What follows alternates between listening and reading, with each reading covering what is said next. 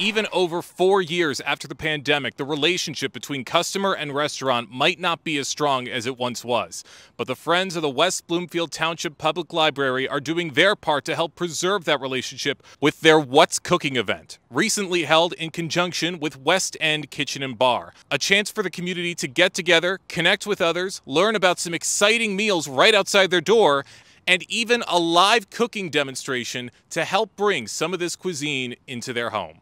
The What's Cook Cooking Committee are a group of dedicated women and men who love talking about food, eating food, and visiting interesting restaurants. Right now, we're working with a lot of the restaurants that made it through the pandemic, and we're getting people back out to those restaurants because we lost several wonderful restaurants during the pandemic. So uh, we're really excited to work with uh, West Bloomfield Public Library.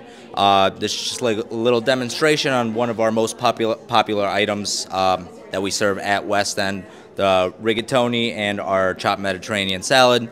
Super uh, excited to be here to kind of spread awareness of our role in the community, what we have to offer, and our delicious food.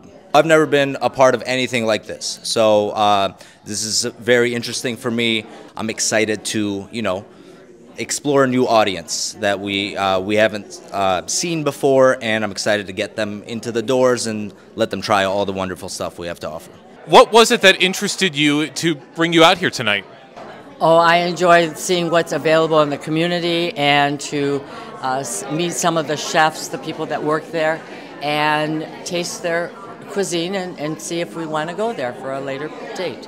What do you think of the recipe? Was it did it seem simple and easy to learn? It, it seemed very simple and easy to learn, and it was a little spicy, but not the Diablo spicy, as he said. So it had a little little punch to it. Yeah, I think it's great because it shows them what options are out there, and some of the questions were about gluten-free options, some vegetarian options. So they're learning that, that there are out there and that you can do it at home also.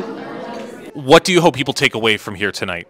I hope they take away the fact that it's time to get out again. It's time to go to restaurants. You know, we're, we made it through the pandemic.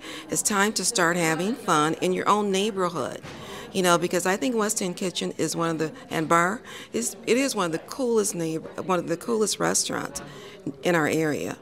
You get to be with the people in the community, and then you get to see what's available in our community to help support the businesses that are out there. So I think it's very, very important.